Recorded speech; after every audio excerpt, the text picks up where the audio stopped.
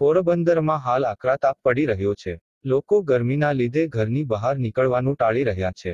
આવી આકરી ગરમીમાં પક્ષીઓને પણ ઠંડક મળી રહે તેવા હેતુ બાળકો દ્વારા અનોખી સેવા કરવામાં આવી હતી. ઠકરાર પરિવારના નાના બાળકોએ પોરબંદરની ચોપાટી પર આવેલ પક્ષીઓ માટે સ્થળ પર બરફની નાની પ્લેટ મૂકી પક્ષીઓને ઠંડા પાણીની મોજ કરાવી હતી.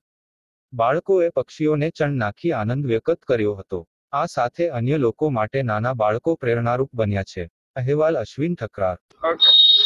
હેલો મિત્રો, મારું નામ છે હિતાંશુ ટકરા તો હું અત્યારે આવી રહ્યો છું ચોપાટીમાં.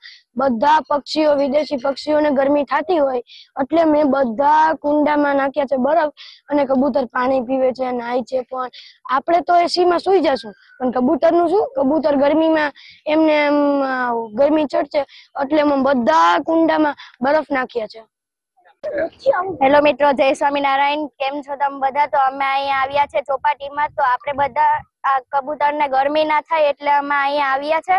તો એ લોકોને અમે અહીંયા ગરમીમાં બરફ નાખ્યા છે પાણીમાં. ગરમીના તો આપણે બધા તો ઘરે જઈને એસીમાં સુઈ જશું, પણ બિચારા કબૂતરનું શું થશે? તો અમે આજે આવ્યા છે અહીંયા કબૂતરને ઠંડુ પાણી પીવડાવવા અને બરફ નાખી દીધો છે અમે.